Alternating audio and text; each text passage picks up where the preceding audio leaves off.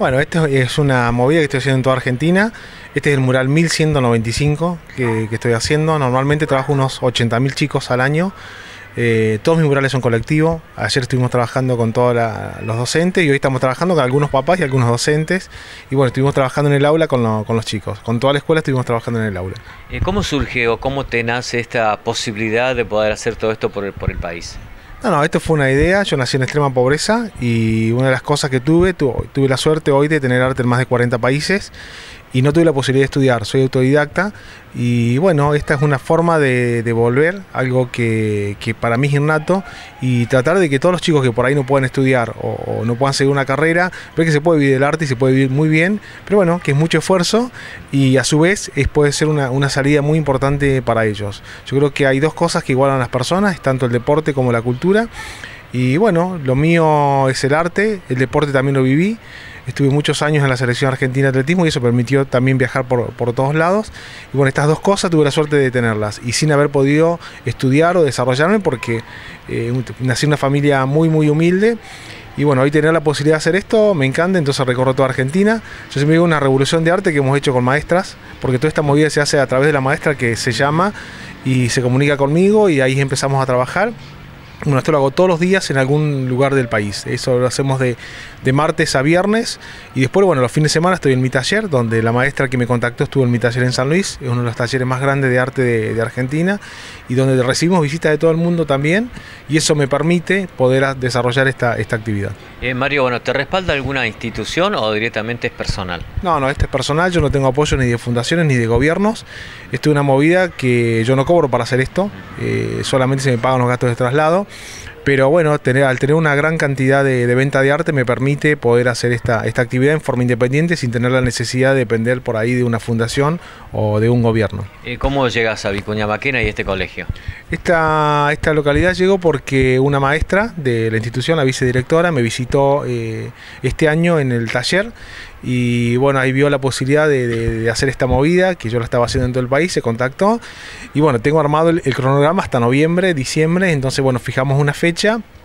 Y bueno, hoy estamos acá, espero que el tiempo nos acompañe porque ya mañana tengo que seguir de viaje, así que bueno, muy contento. ¿El diseño cómo se elige, por lo menos en lo que respecta aquí a Vicuña Maquena? No, en todos lados. Eh, yo improviso sobre la marcha, no es que lleve un bosquejo de algo, Imagínate que ya este es el mural 1195, si me pudiera hacer bosquejo me faltarían tres años más para bosquejar. Y no, generalmente llego y en el mismo momento voy diseñando. No, no es que llevo una idea anteriormente. En el momento se va, se va trazando y se va haciendo. Eh, ¿Te acompaña gente o te acompaña, digamos, te ayuda a pintar gente de pueblo? No, no, todo mi arte es colectivo. Yo al lugar que voy pinto con la gente del lugar. Solamente tengo un ayudante que es el que me acompaña en la gira que yo hago. Pero como te decía, todo el, mi arte es colectivo. Voy pintando con la gente que tengo en el lugar. Y eso suma unas 80.000 personas al año cuando terminamos la gira cada año. Este es el cuarto año que estoy haciendo la gira. ¿Dónde te vas desde Vicuña Maquena para pintar otro mural seguramente? Eh, la semana que viene estamos en Córdoba, la otra estamos en La Pampa, la otra estamos en Neuquén, después eh, vamos a estar en Entre Ríos y después hacemos la provincia de Buenos Aires y de ahí empezamos a subir hasta La Rioja. Eh, ¿Te solicitan algún diseño en especial? El hecho que es un colegio, ya ven, sabemos que, como decís vos, improvisás sobre la marcha, pero te dicen, bueno, quisiéramos tener sobre eh, un determinado tema? No, no, generalmente, bueno, estamos haciendo una pintada en el piso, que por ahí es distinto al mural. Cuando hago un mural lo que hago es, pintar lo que tengo dentro de mi estética, lo que tengo alrededor del lugar. Si estamos en una zona rural, generalmente pinto cosas que se han referido a eso. Si estoy en la ciudad, dibujo otras cosas referidas a la ciudad. Pero siempre dentro de mi estética, pero no es que alguien me pida hacer algo en especial. Eh, te pregunto, em, vos estuviste pintando también en lo que es justo Arat, parte de los puentes. Bueno, en San Luis tenemos el corredor, de, son 300 kilómetros que tiene obras mías. La primera obra está en Justo Arac y la última está en San Luis.